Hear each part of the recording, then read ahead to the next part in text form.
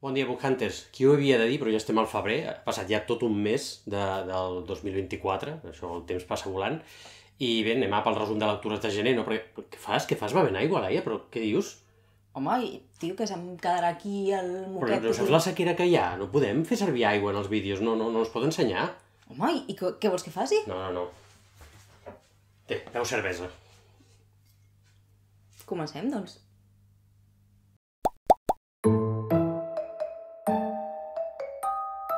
Bé, abans de començar el resum de lectures de gener, a recordar doncs, que hem començat la segona temporada del podcast Ràdio EBH, que acaba de mutar i ara es diu Llibres i Punt, perdó pels canvis, però com ja vam explicar, doncs, aquest canvi de nom eh, reflecteix que hi ha hagut un canvi bastant gran no? en, el, en el podcast, que és que deixem d'enregistrar-lo a casa, eh, passem a enregistrar-lo als estudis de Ràdio Sant Boi, doncs també agrair-los no? que ens hagi oferit l'oportunitat de poder gravar allà, Uh, per tant, canvi de nom, també una mica canvi de dinàmica perquè ara hi haurà unes seccions, gairebé sempre jo crec que tindrem gent a l'estudi.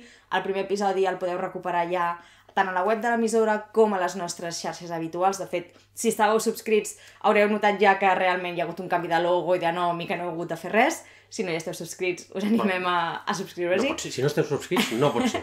Us heu de subscriure. Però bé, aquest primer eh, programa va ser només en Sergi i jo, també per fer una mica així de reconeixement del terreny, què tal, doncs ens anava això, parlaven d'uns micros com Déu mana i tal, i, i en- entendre'ns una mica també amb el, amb el Fernando, que és el tècnic de so que ens ajuda allà a Ràdio Sant Boi, aquí també li estem molt agraïts. No va anar tan malament, no? No, jo crec que no. Alguna coseta que sabem... Bueno, ens hem d'acabar d'acostumar a això de, de parlar a la ràdio, que tampoc som, som experts, però res, només avisar-vos doncs, d'això, no? de que hi ha hagut aquest canvi i que ja el podeu escoltar i que cada 15 dies serem a la ràdio i també a les plataformes. Som-hi, hem a parlar dels llibres ja? Mhm. Què vas llegir tu al gener? Jo al gener eh, el vaig començar acabant un llibre de desembre del qual ja vaig parlar, que era Maus, però després he llegit quatre llibres més, que han estat l'estiu que la mare va tenir els ulls verds de la Tibuleac eh, amb aquesta edició d'Amsterdam que es va animar a publicar aquest llibre en català, que ja havia corregut molt en castellà, que en Sergi ja n'ha parlat 10, 2... Vull dir, no sé quants mils de vegades n'has parlat, per tant... És, que és jo molt crec- bo, el llibre és molt bo. Sí, sí, sí, jo crec que ja es coneix bastant. Muscos per sopar, de la Birgit van der Becke, un petit plaer que em cridava bastant l'atenció, no sóc molt de petits plaers, he de dir que se'm fan curts sempre, però aquest em cridava molt l'atenció eh, perquè la gent en parlava molt bé, i la veritat és que molt xulo, vull dir, molt interessant el llibre, és, costa una mica, crec, la, la, la manera com està escrit no és senzilla, però déu nhi la veritat és que al final té aquesta història de darrere que, que em va agradar. L'última nit a Telegraph Club de la Melinda Lo, amb traducció d'Anna Llisterri, publicat a Sembra, que va ser l'últim llibre que van treure al mes de desembre. I finalment, Que no s'apagui la flama, de la Miriam Taves, a d'aleshores, com sempre. És que no saps ni els llibres que vas llegir durant el gener. Perquè també vas llegir aquest. Ah, calla. Ah! sí. Que te'l tenia jo a la meva ah, pila. Veus? Jo estava clar, pensant, doncs jo havia llegit molt i estic dient quatre llibres com sempre. Sí, també he llegit uh, Fins a l'última pedra de la Berta Creus, uh, el primer llibre de la Berta, que ens va fer molta il·lusió, que ha tret males herbes perquè també el vas llegir tu. Clar, he fet trampa, el a la meva pila Ja, i he ja, despistat ja. a la Laia, però sí, clar, jo també vaig llegir aquest llibre durant el gener. T'he quedat tal. Ah, gràcies. Uh, com que sóc molt complidor, jo ja havia dit que començaria l'any llegint Virginia Woolf, Orlando en aquest cas, uh, i efectivament va ser el primer llibre que vaig llegir aquest any, publicat a Vien Edicions. Després vaig llegir un llibre de Bromera, Les absències, d'Irene Klein. Vaig passar a llegir la segona part de la Fundació, Fundació Imperi, d'Isaac Asimov, amb aquestes edicions que m'encanten de, de donar llibres, tapa dura, i una meravella, i com sempre dir que una meravella poder tenir aquestes edicions tan ben fetes en català, que aquest llibre, bueno, tota la saga jo l'havia llegit en castellà ja fa temps i ara doncs per fi la puc tornar a llegir i en català. Vaig llegir Retrat de matrimoni de la Maggie O'Farrell, perquè se m'acaba el temps, perquè està a punt de treure un llibre, no, no nou, però un, un, una nova publicació a l'altra editorial, que és qui l'està publicant últimament, i aviat, al març, em sembla, tindrem llibre nou, vell, perquè és un llibre que ja té uns anys, però que, que l'edita ara l'altre, i clar, com se'ns acaba el temps, doncs jo he llegit Retrat de matrimoni per Estava- començar l'any. Estava a Angle, el que traurà ara l'altre, jo crec que l'altre vol tenir tota la Magui Ah. I duria estar a Angle i deu haver acabat els drets i l'ha comprat l'altre. Quedarà tan bonica les lleixes. Tota la el tenim per aquí dalt, no sé si es veu, però ho tindrem, No, no es veu, em sembla. els tindrem tots posadets tard o d'hora i seran tots. Després vaig tornar també a Alice Smith, una autora que a mi m'agrada molt llegir, que ja he dit a les xarxes, però crec que algun dia aquesta autora guanyarà el Premi Nobel, que no és que per mi sigui una gran cosa, però crec que per la seva, el seu estil narratiu i, i la seva manera d'explicar el nostre món, doncs l'acabarà guanyant tard o d'hora. Aquest la torna, que no és del quartet estacional, però podria ser, perquè mm. és del mateix estil. I vaig acabar el mes llegint... Què busques? Estic, estic buscant les Alice Smith. Ui, les Alice Smith aquí hi ha un i després ella baix. Ah, és que... estava mirant aquí tot el quartet estacional, perdó. Com perdó. estem al nostre nou set de rodatge, perquè sí. hem fet canvis d'habitacions, ara... Ah, no sé on són els llibres. Ara, eh, com jo els vaig posar, més o menys, encara els sé, però encara em despisto una mica. Bé, que em despistes tu a mi. Vaig acabar el mes llegint eh, aquesta edició de Cronos, eh, Gossos de Guerra, d'Adrian Tchaikovsky, que és un dels autors que més aposta a aquesta editorial, que ja li ha publicat quatre llibres, i per ser que és un catàleg jove encara i que no, no és molt extens, doncs quatre llibres del mateix autor és que hi creuen molt fermament i aquest és el primer que jo llegeixo d'ell i la veritat és que molt bé. Mm -hmm. Sí? Sí. Ens comences tu explicant algun sí. dels que vas llegir? Sí. Objectiu 2024 és no enrotllar-me tant parlant dels llibres. Permeteu-me que rigui.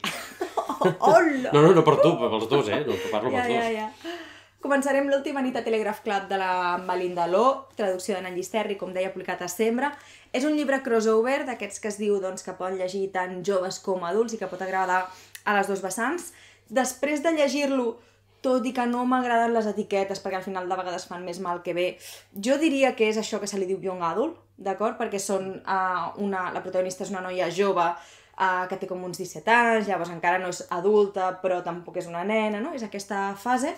I la veritat és que és una novel·la romàntica, que no és el tipus de novel·la que jo soc llegir, però eh, està bé perquè està ambientada als anys 50 a San Francisco, eh, la noia és sinoamericana, o sigui, ella ha nascut als Estats Units però els seus pares són d'ascendència xinesa, i bàsicament hi ha dos eixos en el llibre, que un és uh, la seva uh, descoberta sexual i afectiva, doncs que la, la protagonista, la Lily, descobreix, a la, a la vida li va donant pistes de que és lesbiana i el desencadenant de, de que ella digui, doncs, això que em passa té aquest nom o això que em passa tu també ho sents i sim simplement és que doncs m'agraden les dones. Tot això es desencadena per una foto que ella troba d'una transformista masculina, que se'ls deia així, no se'ls deia dracs, perquè també ha après que és una cosa diferent, els drag kings i drag queens dels transformistes. No um, doncs una foto d'una transformista masculina que es diu Tommy Andrews, que treballa al Telegraph Club, no? I ella, doncs, s'obsessiona molt amb aquella foto, acaba anant un dia al Telegraph Club amb la Kath, que és una amiga que resulta que no és amiga de l'escola perquè ella descobreix no? aquests sentiments cap a la Kath. I l'altre eix, per una banda tenim tota aquesta descoberta de la Lily, doncs, del seu lesbianisme, i per altra tenim el racisme, perquè als anys 50 a San Francisco doncs uh, hi havia McCarthy, que jo tot això no ho sabia, però a l'inici dels capítols hi ha unes frases com de context històric que està molt bé, doncs em sembla que era com un senador de l'estat de Califòrnia que va començar a fer una croada uh, contra xinesos i tal, perquè els catalogava de comunistes, s'havia acabat la guerra de Corea, hi havia, doncs, Xina havia estat al costat dels Estats Units uh, durant la Segona Guerra Mundial, però als anys 50 es van obsessionar amb els comunistes perquè va haver un canvi de govern a Xina i el senyor, doncs, a la mínima tenies el risc que et poguessin deportar tal i qual, no? I llavors ella viu a San Francisco però viu a Chinatown, ha de fer front a, al fet aquest d'explicar-ho a la família, ha de fer front al fet de que Chinatown, doncs, diguem-ne que encara la tradició té molt de pes i hi ha tota aquesta dicotomia, no? Llavors, l'ambientació és molt xula, a mi m'ha agradat molt, Eh, és això, eh? és novel·la romàntica, no en soc llegir, sí que hi ha alguns punts com molt més ensucrats potser que jo estic habituada a llegir o que m'agrada llegir, però és molt xula la novel·la i jo crec que a la gent que li agradi el young adult, jo crec que és un llibre que agrada. Ella és molt... té, té un sentiment, és com molt naïf, no? Perquè tens... Clar, tu la vols com empantar de... Sí, el que et passa és això, no passa res, no és res estrany, no? Però clar, ella té aquella cosa dintre de no saber si allò és correcte, si està bé, i després si ho pot explicar, no? Un ambientat als 50. Suposo mm -hmm. que la perspectiva era molt diferent. Ara estava pensant que, clar, això, aquest llibre està ambientat allà on comença el demà, demà i demà, de la Gabriel Zevin. Te'n recordes que ells també són sinoamericans i és a San Francisco, també parla molt del Chinatown. Però no tan antic, no és No, no, no, clar, 50. el tema, ah, vale, aquell vale. està ambientat als anys 80, suposo, Sí. al principi dels, dels 90, que entenc que la per- perspectiva del barri havia canviat molt, però clar, l'escenari és el mateix. Mm. Llavors trobo que és molt... Jo no l'he llegit i aquest m'interessa bastant. Tro- Trobo que, que, que és interessant veure amb uns 30 anys com devia canviar Sí. uh, aquell barri. Hi ha una altra cosa que també m'agrada, que m'ha recordat a la pel·li Hidden Figures, de que la seva tieta treballa al Jet Propulsory Lab i ella està molt obsessionada amb els coets i es, li van superbé les matemàtiques i llavors s'emmiralla molt també amb la seva tieta, no? d'aquelles dones matemàtiques computadores que treballaven a la NASA i que van tenir un paper essencial en la cursa espacial i que se les va invisibilitzar, invisibilitzar molt. No? També hi ha, que- hi ha com diferents fils que està, No, que està està està xulo i estan molt bé les notes finals de l'autora, perquè, per exemple, això de jo he dit sinoamericans, um, però aquí es parla d'orientals, que avui en dia és un terme despectiu, però ella t'explica, jo que sé, el terme sinoamericà no es va introduir fins als anys 60 o 70, no? Llavors, clar, si això està ambientat als anys 50, ella fa servir els termes antics, no? O els que per context correspondrien, no? I això també està molt bé. Jo no en tenia ni idea de moltes coses, per tant també he après molt. I a la part final que, de l'autora eh, també en quines transformistes masculines de l'època s'ha ambientat, el Telegraph Club és fictici però s'ambienta, Mhm. eh, no s'inspira en clubs que van existir, per tant, molt xulo. Ah, molt bé. Però a veure si l'enganxo algun dia.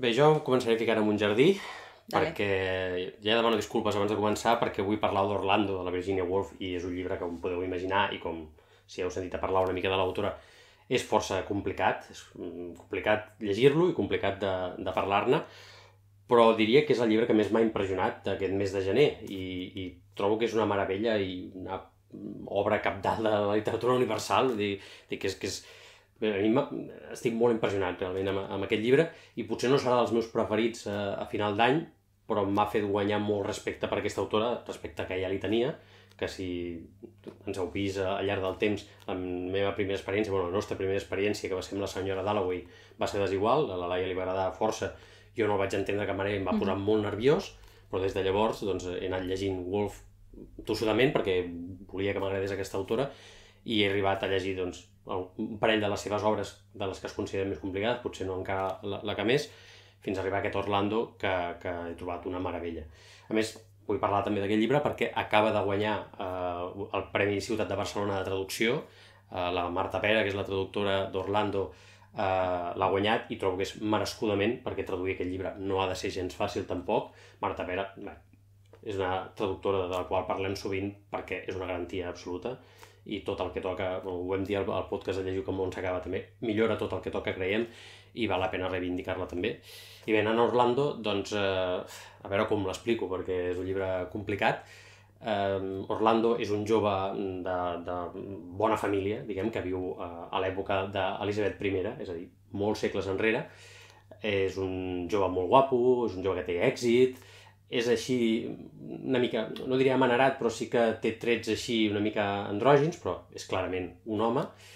I bé, té els seus embolics, evidentment, doncs les dones eh, de l'alta societat li fan molt de cas, perquè ell és molt guapo, més té força diners, i per aquelles coses de la vida, un embolic de faldilles també s'ha d'exiliar perquè ell estava promès i clar, doncs eh, altres dones li fan cas i bé, diguem que s'ha d'exiliar a, a l'estranger i se'n va fer d'ambaixador a Constantinople i allà la pel·lícula canvia perquè es converteix en una dona.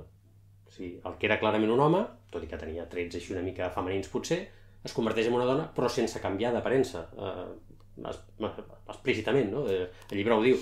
No és que canvi gaire cosa, però ara és una dona, Orlando és una dona. I bueno, el mateix llibre doncs, passa a referir-se a ella en femení. I clar, això ja descol·loca una mica. Però una altra cosa que descol·loca una mica és que van passant els anys, van passant els anys, i no passen els anys, passen els segles, van passant les èpoques, i Orlando segueix allà.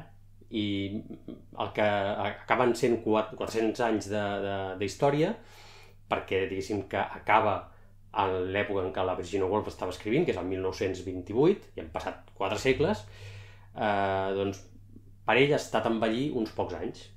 I, és a dir, primer que comença sent un home i, i després passa a ser una dona i que viu durant 400 anys i clar, això pot descol·locar una mica però això li serveix a l'autora per anar explicant la història, això és una biografia, és la biografia d'Orlando, però en realitat el que t'està explicant és la història d'Anglaterra doncs, durant tots aquests anys, van passant reis, van passant governs, van passant escriptors, canvis socials, canvis tecnològics, i l'autora doncs, els va... Eh, bé, fa que Orlando els vagi entomant eh, així com venen i s'hi adapta. No? Ah, doncs ara es fa això d'aquesta manera, que abans eh, era impensable que la societat pensés així. Doncs molt bé, som-hi. No? I Orlando s'hi va adaptant. I la veritat és que és una bona repassada històrica. Eh, Wolf ho qüestiona tot, tot, tots els canvis que hi va havent, ella hi reflexiona, eh, hi pensa molt i, i posa sobre la taula, posa en perspectiva, eh, parla molt també de la literatura, els canvis de... Ja, al principi, diguéssim que els autors que hi ha, eh, els autors anglesos de, de l'època, creu un altre personatge fictici, perquè, clar, això, Orlando viu en una realitat amb personatges històrics reals, però ell és un personatge de ficció, i crear altres personatges de ficció que li serveixen per posar damunt la taula alguns temes, no? com per exemple, ah, els autors d'ara, no? en principi parlar de Shakespeare, és, és un aficionat, no sé què, va parlar dels autors de l'època, com si no tinguessin cap valor, perquè els clàssics grecs, els clàssics de tota la vida, aquells sí que, aquells sí que sabien escriure, no? I en un futur, que també aquest personatge, clar, com ha de seguir la història, eh, també ha viscut la tira d'anys, i després dius, no, i a l'època de Shakespeare, que bé que escrivien, eh? no com els d'ara, no? Com fer una reivindicació de que les literatures passades sempre són millors que l'actual, no? Però això també està explicat amb molta ironia, perquè en realitat, doncs clar, com és una repassada històrica als canvis socials i tot això, doncs eh, l'autora se serveix molt de la ironia i, i de, de fer-te veure que, que hosti, eh, allò que creiem com a certeses, allò que tenim com, com, com bueno, els nostres convenciments, doncs que són molt qüestionables, no? I que, que, que bé, que així canvien els temps, així canvien els pensaments, les persones i tot plegat. Bé, no sé si s'està entenent gaire el que estic explicant, és complicat, però és que és un llibre, és difícil. Aquí no tira tant això del flux de pensament que tenen altres obres de l'autora, però sí que és una narració molt intel·ligent, que, com ho qüestiona tot, i sobretot, doncs, eh, crec que suposo que el tema principal és posar sobre la taula els rols de gènere, també, clar, parlar de una mica de transexualitat mm, dintre de, del que es podia fer doncs, als 20 de, de, del segle passat.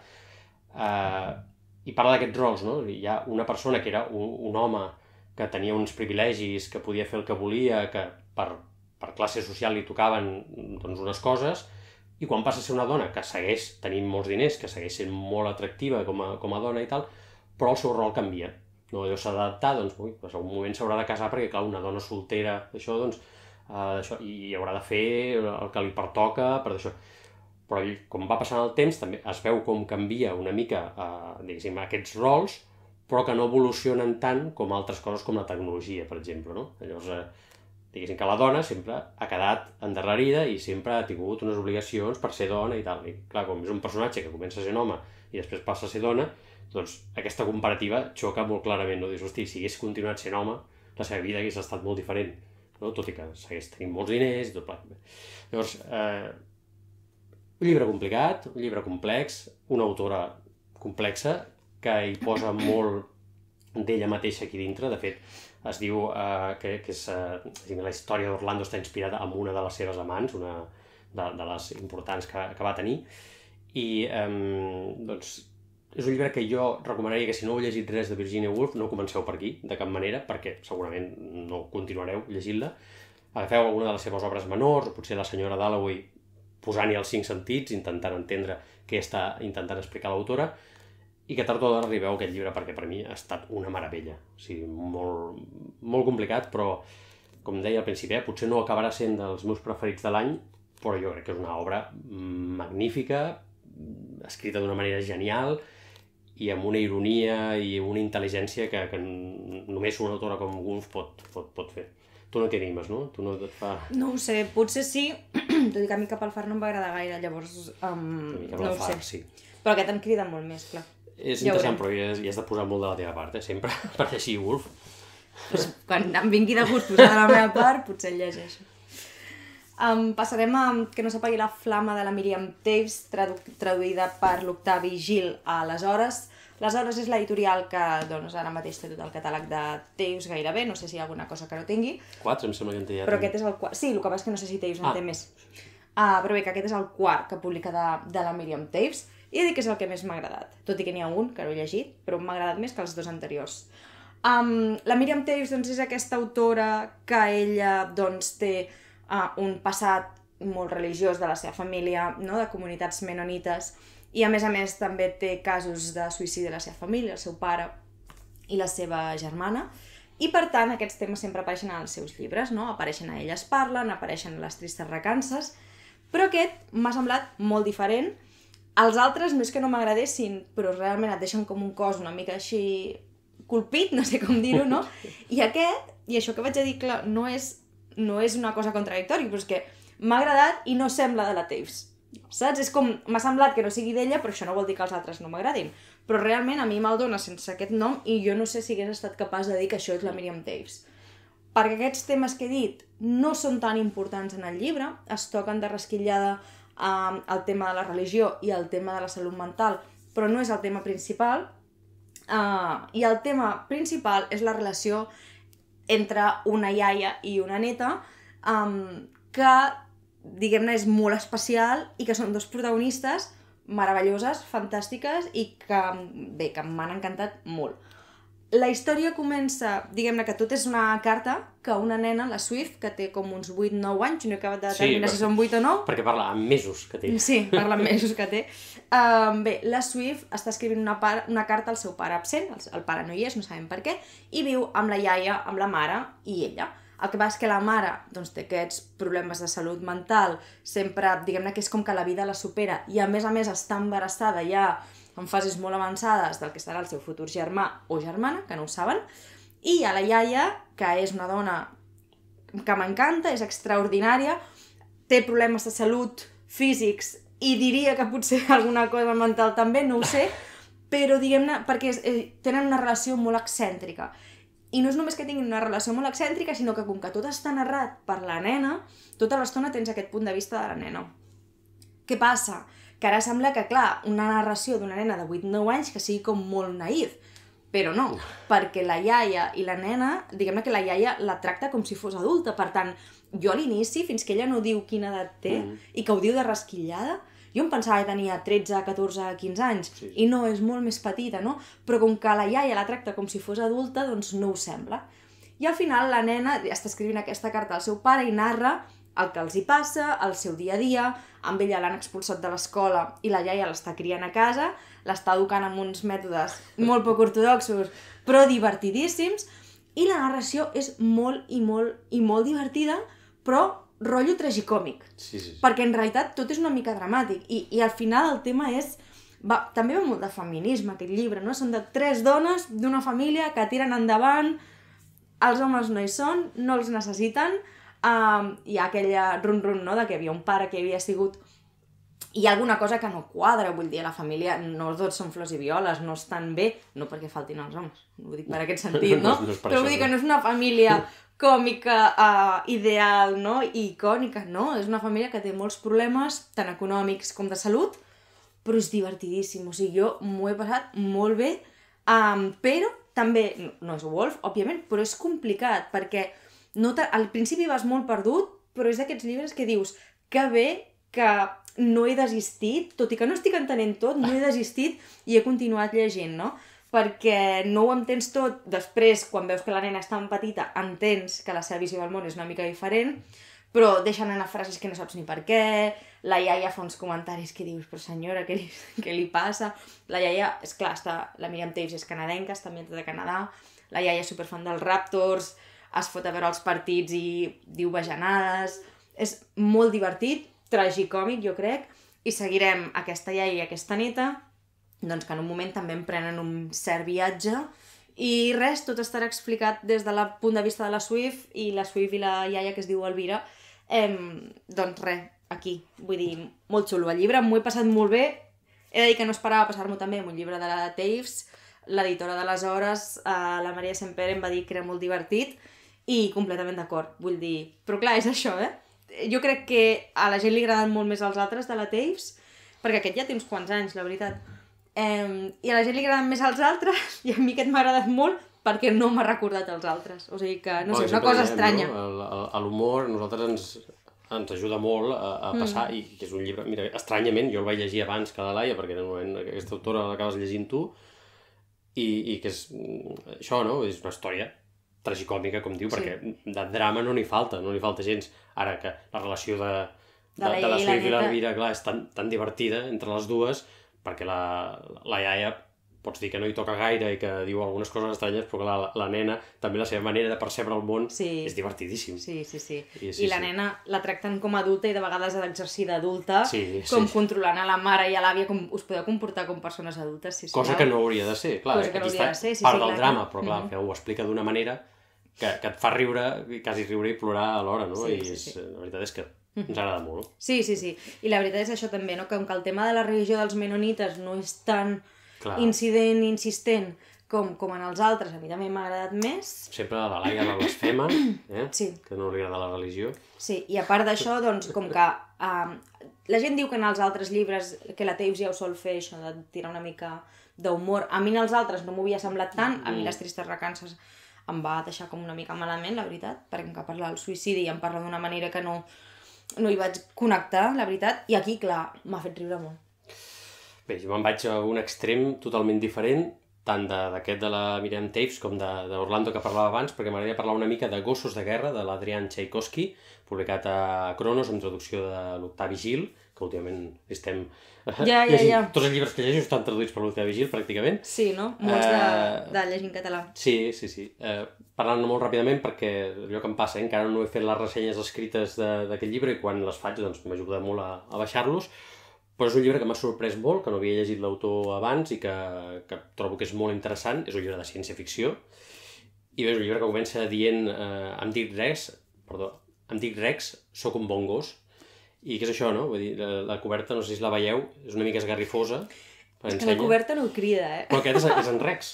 És, és en Rex, que és un gos de guerra, com diu el títol, no, no enganya, i és que ens planteja un futur no molt llunyà, indeterminat, però en- que pots imaginar que no és gaire lluny, en el qual doncs s'han generat el que aquí diu bioformes, que és fer servir animals modificats tant genèticament com tecnològicament, de tal manera mm, que, que es fan servir per, amb, amb fin- finalitats bèl·liques, no? també amb altres, no? amb, amb usos de servei i aquestes coses, però sobretot per fer-los servir eh, com a soldats a la guerra.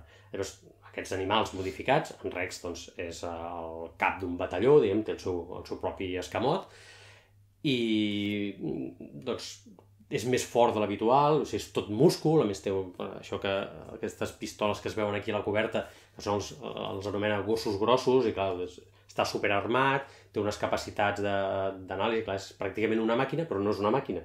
És, sí, la seva base és, és biològica, diguem, és un gos, però molt modificat, de tal manera que pugui anar a la guerra i, i sigui un soldat, doncs, increïble.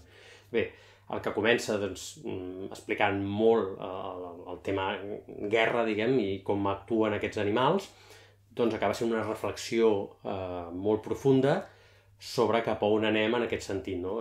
Per exemple, doncs aquests animals, bueno, si, si es perd un d'aquests animals a la guerra, si es mor, doncs no passa res perquè és un animal. En canvi, si, si es moren els soldats, doncs clar, sempre sap greu, no? Perquè són persones, bueno, què vols que et digui aquí, que els animals que surten que tenen capacitat, no és que parlin, però eh, gràcies a les seves modificacions tenen capacitats de comunicar-se i eh, tenen uns canals interns, diguéssim, que es comuniquen tant amb les persones com, com entre ells i clar, aquí planteja moltes coses, no? la relació que, que tenen amb, amb el que ells consideren el seu amo, perquè clar, un gos doncs, és allò típic, no? té, té un amo i sempre, o sigui, depèn d'ell i sempre li ha de fer cas el que sigui, però potser aquest amo humà, en aquest cas, no és tan bona peça com podria ser, no? i el fa servir d'una manera, evidentment, per unes finalitats que no miren pel bé de, de l'animal. No? I bé, aquí diguéssim que eh, va canviant molt al llarg de, del llibre, canvia molt la perspectiva, no vull explicar gaire més perquè realment al principi és senzillament una situació de guerra en que aquests animals actuen, però eh, diguem que el món acabarà coneixent aquests animals, eh, us podeu imaginar, no? És, en certa manera m'ha recordat una mica a la guerra de les salamandres, perquè quan el món pren consciència de que hi ha uns animals que s'estan fent servir en finalitats bèl·liques i que no són robots, que també n'hi ha de robots en el llibre, sinó que són éssers vius i que, que, bueno, que han de tenir drets, perquè són éssers vius que estan modificats per ser millors i ser més intel·ligents, i, i clar, al principi diu, és que no tenen ni ànima ni res, no, clar, són, senten i saben què estan fent i el que passa que són molt obedients perquè ho han fet per això, però clar, quan la gent pren consciència, doncs eh, se'ls ha de donar drets amb aquests, eh, amb aquests animals, eh, se'ls ha de tractar d'una manera diferent, doncs, tot va evolucionant, i clar, l'autor va introduint cada vegada més factors per fer-te pensar en això, no?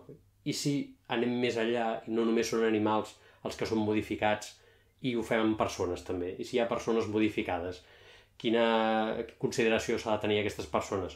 Són persones humanes? És una evolució de, de l'espècie? Com és?